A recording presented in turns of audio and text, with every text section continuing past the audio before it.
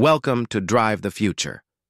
If you're watching this video right now, you've probably been waiting a long time for Elon Musk's affordable Model 2 to finally arrive. While most media outlets seem to ignore it or don't really know what's going on, we're among the few who can tell you.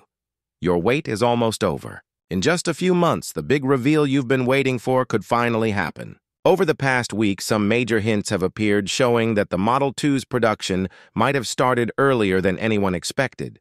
That means deliveries could begin as soon as late 2025 or early 2026. So do you want to know how Giga Texas is preparing to build the Model 2 this quarter? Why Elon Musk released cheaper versions of the Model 3 and Model Y first? And how he plans to power millions of these new cars when the U.S. power grid is already struggling to keep up. In this video, we'll break it all down. So make sure to hit that subscribe button and join more than 13,700 members who already follow how Tesla is changing the way we drive and live. On October 8, 2025, Tesla officially introduced two new versions of its most popular cars, the Model 3 Standard and the Model Y Standard. These versions were designed to reach more people by lowering prices. On Tesla's website today, the Model 3 Standard starts at 36,990 and the Model Y Standard SUV begins at 39,990. Tesla managed to reduce prices by about 12%, compared to the higher-end models by using cost-efficient materials and removing a few luxury features, such as the rear 8-inch screen and heated seats, while still offering over 300 miles of range thanks to the LFP battery pack. Reactions from analysts and investors were mixed. Fund manager Ross Gerber called it a desperate attempt to boost sales after a strong third quarter in California, which might be affected by higher insurance rates linked to FSD safety issues. But many experts from Electrek saw it differently. They believe it's a smart long-term move to increase market share as cheaper Chinese EVs flood the global market. It also helps Tesla prepare to reach its goal of building 2 million affordable cars per year by 2026.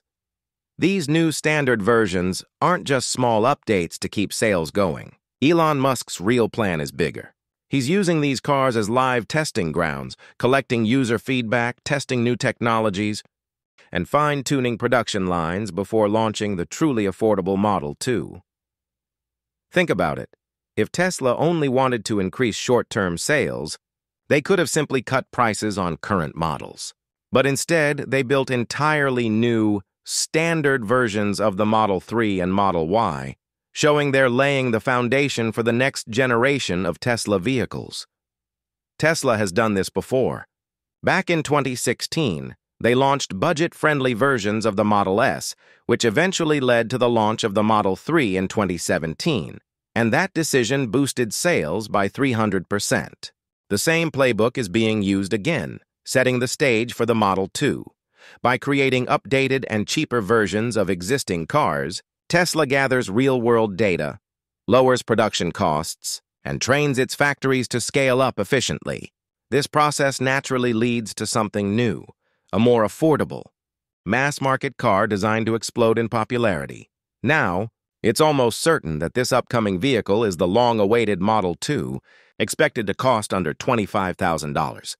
Tesla has been testing prototypes covered in camouflage on California roads. Some people mistake them for the new Model 3, but their smaller size gives them away, around 15-20% shorter than the Model 3, with a hatchback shape not seen in any other Tesla.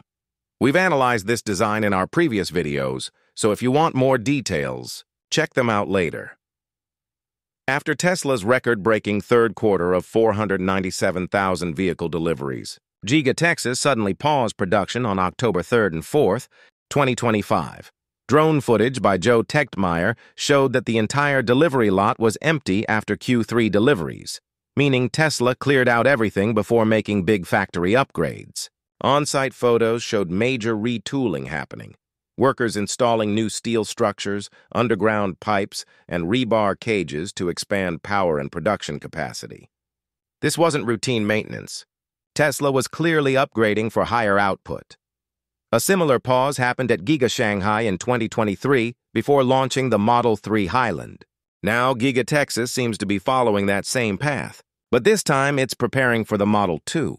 When production resumed on October 6th, Tesla publicly focused on the Cybertruck. But behind the scenes, new robots, cranes, and modular workstations were being installed, perfect for Tesla's new unboxed manufacturing process, which can cut production costs by nearly 50%. At the same time, over in the second building called Cortex 2, Tesla was preparing to host the Optimus Gen 2 robots, the company's next-generation humanoid robots. The roof there is already about 75% complete, and the plan is to have around 1,000 robots working by the end of 2025. This could make Giga Texas the most automated car factory in the world, reducing human labor by up to 80% and cutting car build time down to just 15 seconds. All signs point to one thing. This massive investment in automation push is clearly for the Model 2 project. But there's another big question. How will Tesla power 2 million new Model 2s when the American power grid is already under pressure? Many people fear that a flood of new EVs could overload the grid. But the truth is the opposite. The U.S. grid is getting stronger and smarter, and Tesla is playing a big role in that progress. According to the Energy Information Administration's report from October 2025, total U.S. electricity supply is expected to reach about 4,191 billion kilowatt hours in 2025 and grow to 4,600 billion by 2026. Over 90% of new energy capacity added this year came from solar and wind, a huge boost for clean energy. California and Texas alone have added over 30,800 megawatts of renewable power, enough to supply around 25 million homes. An average Tesla uses about 3,500 to 4,000 kilowatt hours per year. So even if 2 million Model 2s were charging regularly, they'd need about 7 to 8 billion kilowatt hours annually, less than 0.2% of the nation's total projected energy supply in 2026. In short, the grid can handle it easily, and Tesla isn't relying on the grid alone. They're expanding their supercharger network faster than ever. In Q3 2025, Tesla added 395 new stations and 3,262 charging stalls worldwide. Most are V4 superchargers that work with all NACS standard EVs. The new Tesla diner in Hollywood, Los Angeles, is now the world's largest charging site with 80 stalls and operates 24 7 completely ready for the Model 2 wave.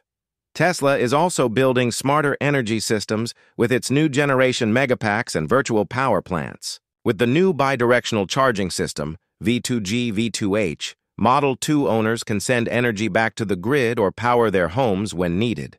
This means instead of causing strain, millions of Model 2s will help stabilize the power system, charging when energy is abundant and giving it back when it's needed most. By the end of 2025, the total virtual power plant capacity in the U.S. reached about 37.5 gigawatts, equal to several large power stations, much of it powered by EVs and Powerwall batteries. As more Model 2s hit the road, this system will only grow stronger. The countdown to Tesla's Model 2 has already started, and what's coming next could redefine what affordable means in the EV world. So if you want to stay ahead of every Tesla update, hit the like button, subscribe, and turn on notifications. Subscribe to my channel for the updates, and thank you for watching my videos. See you soon in the next one.